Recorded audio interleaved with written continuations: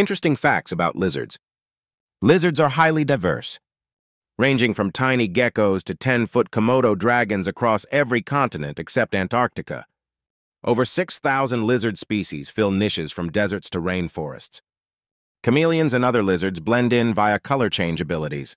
When caught, some detach and regrow their tails.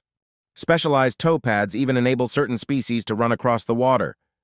Being cold-blooded, lizards bask in the sun's warmth but retreat to shade to prevent overheating.